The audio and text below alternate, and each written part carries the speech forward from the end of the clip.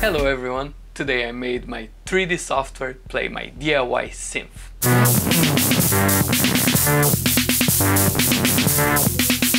So before I start, let me explain my journey to this point. I was nearly done with my previous video and I ended up in a 6 months procrastination doing a DIY synth. I was finishing my worldwide hit is render time. And YouTube recommended me Look Mum No Computer. Watch this guy he's amazing. And after watching his videos I had the amazing idea. I'm gonna build my own synth. Why not? It's easy isn't it now my, my synth is nearly done. Well it's never gonna be done it's a DIY synth. I have like a whole band on this synth. Like I have three voices two digital and one analog. And I also have kick snare and hi-hats but there is one issue. I cannot play shit. I'm really bad at playing music. I never played keyboard in my life. Who would have thought that making a DIY synth would be way easier than playing good music on it? So what are you gonna do? Well, I'm a 3D artist, so let's merge both things. I'm gonna make my 3D software play my DIY synth and I'm gonna be the greatest procedural 3D synth. I'm gonna use the power of Houdini to make music. Lovely music. I use Houdini and Houdini is the craziest 3D software ever. I found out that Houdini can support MIDI notes. So most of the people use the MIDI input from Houdini to use a MIDI controller to control like parameters on Houdini. But I'm gonna do the inverse thing because Houdini also has the MIDI out. What I'm gonna do, I'm gonna send messages from Houdini to my keyboard, which gonna send message through voltages to my keyboard. If you are not a synth guy, I'm gonna give you a quick explaining what, what happens in the synth world. The synth I've made is a modular synth. It works with voltages. It's not... Fuck, it's super complicated to explain this shit. So a modular synth works with control voltages. This keyboard sends control voltages through these cables to the oscillators. So the higher the voltage, the higher the pitch you're gonna listen. Here's a higher note, and here's a, a lower note. Yeah, it's basically that, like the, the easiest thing. I send control voltages to my oscillator. I'm using three analog oscillators and they go all to the mixer. The mixers go to a VCA. A VCA is a voltage control amplifier. When you press a key on the keyboard, it sends a voltage corresponding to the pitch and a voltage corresponding to the gate. When you press the key, the gate is on, so it sends 5 volts. When you are not pressing the keys, it's 0 volts. What the control amplifier does, when it receives more voltages, amplify the volume. I send the gate to an envelope generator. The envelope generator does, instead of just being 0 and 5, it goes from 0 and goes it slowly in a slow slope. Can be a slow slope or a quick slope. So now would be a quick and now a slow volume increase. And then the envelope goes to the VCA the VCA goes to the mixer that goes out and the voltage goes out and you listen to the music and that's it. From the USB through my computer I'm gonna send MIDI notes those MIDI notes gonna go to this keyboard. This keyboard for each voice gonna send a gate and a pitch.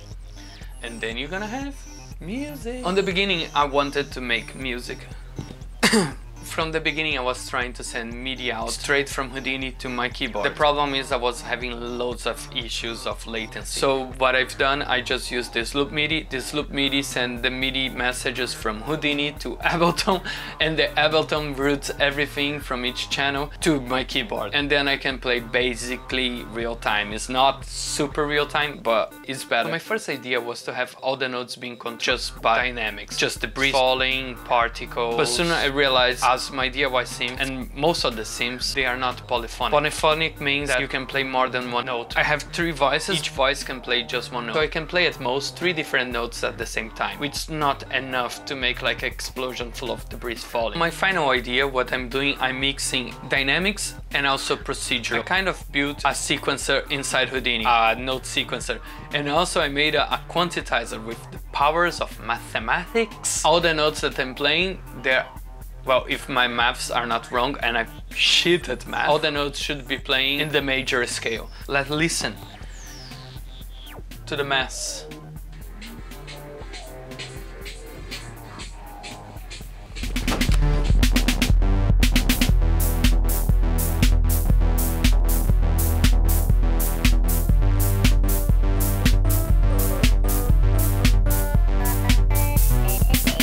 Done is super easy, super simple. I've made a simple simulation here. So false,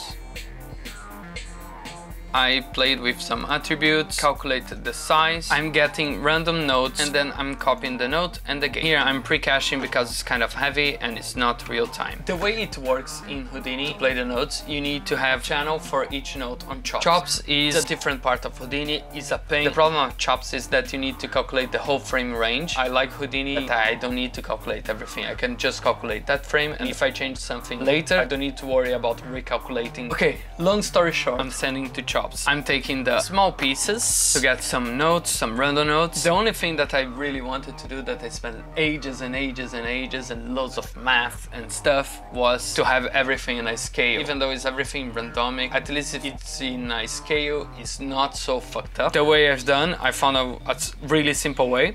So I have an array and then it's jumping each time it needs to go a whole step. We have 12 notes. Each step each step is a half semitone. So every time there is a note that you don't play, I'm adding one. If my math is right, that's the array for a major scale. I'm not completely sure because I didn't look really into it. But I'm using a module, module, mod, module operation. Every time the notes go over 12, the resulting never gonna be over 12. That is my fancy quantizer.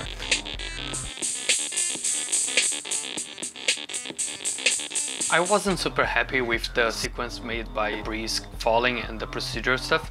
So what I ended up doing, I made a ah. sequencer inside Houdini. So I have an array that I can put 16 steps. So each zero is no node and one would be a node. So I have basically a 16 step sequencer made in Houdini.